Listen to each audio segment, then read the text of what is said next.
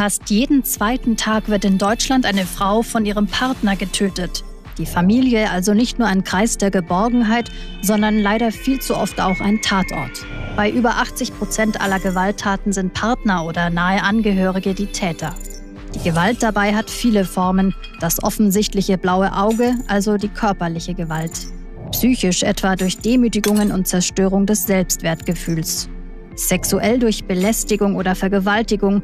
Auch Stalking ist eine Form von Gewalt. Knapp 109.000 Frauen haben im vergangenen Jahr Anzeige erstattet. 2015 waren es noch etwa 100.000 Frauen. Ein Anstieg allerdings auch, weil häusliche Gewalt nicht mehr nur Privatsache ist. Also Frauen sich häufiger trauen, zur Polizei zu gehen. Trotzdem, die Dunkelziffer ist hoch. Aber warum bleiben die Frauen?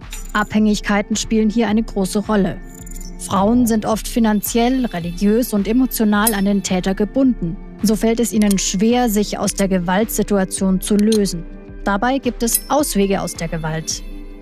Erste Hilfe bietet der bundesweite Frauennotruf Gewalt gegen Frauen rund um die Uhr an 365 Tagen kostenfrei. Unterstützung bieten auch Frauenhäuser. Derzeit sind es über 350 mit weit über 6000 Plätzen. Doch die reichen aufgrund der steigenden Opferzahlen längst nicht mehr. Nötig wären doppelt so viele. Um den Schutz auch gesetzlich besser zu stärken, hat der Bundesrat dem Übereinkommen des Europarats zur Verhütung und Bekämpfung von Gewalt gegen Frauen und häuslicher Gewalt in diesem Jahr zugestimmt. In dieser sogenannten Istanbul-Konvention sind verbindliche europäische Standards festgelegt. Konkret heißt das 81 Artikel für mehr Prävention, Hilfe und Rechtsschutz.